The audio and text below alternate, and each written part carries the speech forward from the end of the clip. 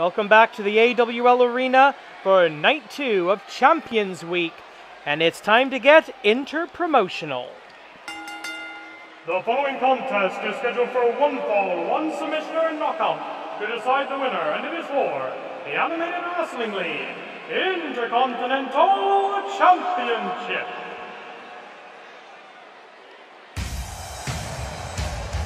For many years, it has been said that IWGP Gold, New Japan Gold, is your ticket to the AWL Arena. And there you see a group full of champions right now. Suzuki Gun, Suzuki Minoru leading from the general, leading from the back there, the never open weight champion. Taichi and tonight's challenger, Zack Sabre Jr. Together they are Dangerous Tekkers, which is one of those names I just can't say without laughing. They are the IW, but what's not a laughing matter, they are the IWGP Heavyweight Tag Team Champions. They're also both currently competing in the G1 Climax Tournament. Zack Sabre Jr. tonight, as that is the only one that really matters, because the other one is Taichi, let's be honest. Zack Sabre Jr., as of night four of the tournament, sitting on two points one and one and losing a 28 minute, 28 second bout against the double gold champion Tetsuya Naito. Naito Tetsuya, if you prefer. So he's currently ensconced in the middle of the block, currently on two points along with Kenta Evil and Hirooki Goto trailing Naito, Toru Yano somehow, and Juice Robinson, who are all on four points, and Sanada Yoshihashi and Hiroshi Tanahashi on zero. Again, that is as of this recording. But right now, the only points that matter, the only match that matters, is this one for the An Animated Wrestling League, the Intercontinental Championship, and there is Kid Canada, who is looking to write his story back to the Grand Championship.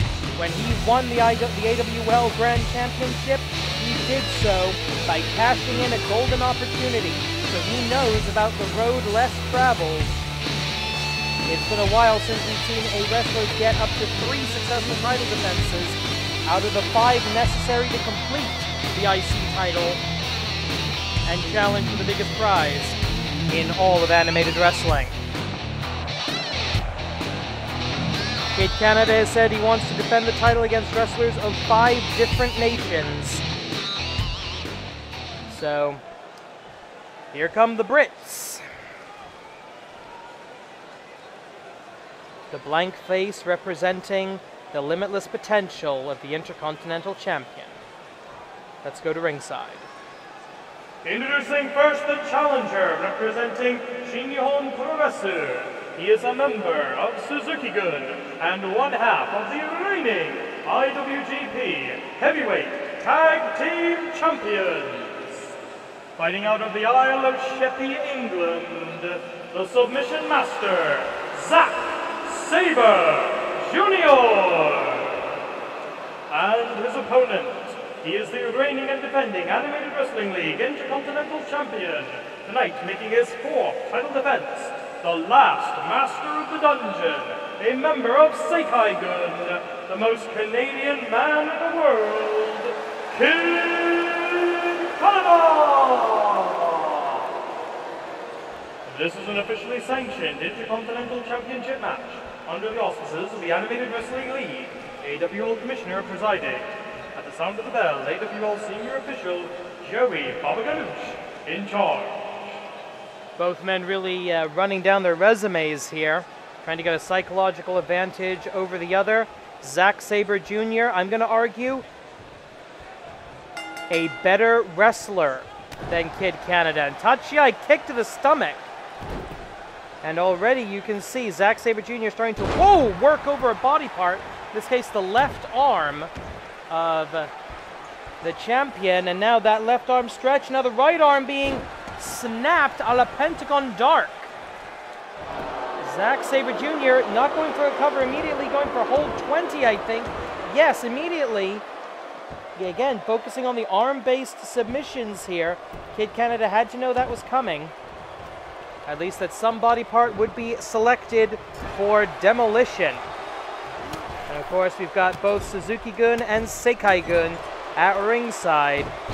I think essentially Sekai Gun here to make sure there is a minimum of Suzuki Gun bullshit. And of course, the uh, champion's advantage will make it unlikely that Suzuki Gun will interfere. One minute in, and Suzuki Minoru himself not particularly happy with what he's seeing here. As Kid Canada, the last master of the dungeon, part of the final graduating class of the legendary Stu Hart dungeon alongside Tyson Kidd. And now trying to stretch him like Stu would do, but uh, Zack Sabre Jr. able to get out of it. Uh, Zack Sabre Jr., a junior heavyweight usually. He's recently gone up to heavy in New Japan, but he's still got a serious size and weight disadvantage against Kid Canada in this Intercontinental and Interpromotional Championship match. And I know the powers that be, the matchmakers over at New Japan Pro Wrestling, they're not happy with the idea that Suzuki Gun is representing them. Suzuki Gun, the outsiders, and a little finger wag there from Kid Canada, and he regrets that almost immediately with a drop kick in the corner. Do not piss off Zack Sabre Jr. It will not end well for you.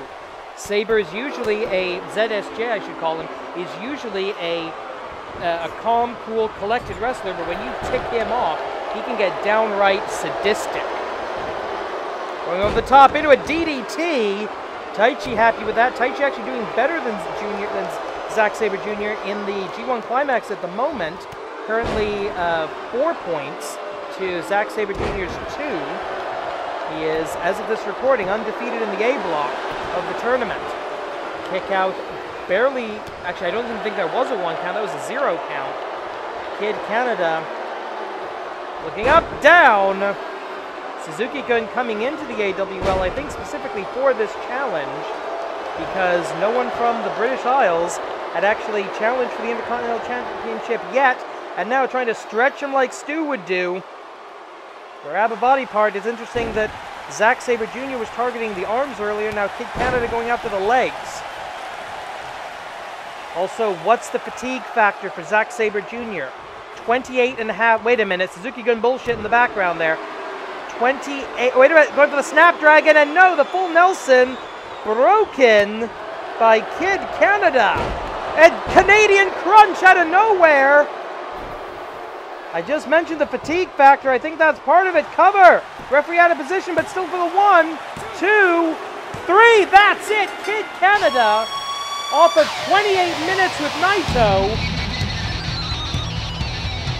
Barely lasts four with the Intercontinental Champion. Kid Canada with probably the most decisive victory of his championship reign. Canadian Crunch with a one, two, three.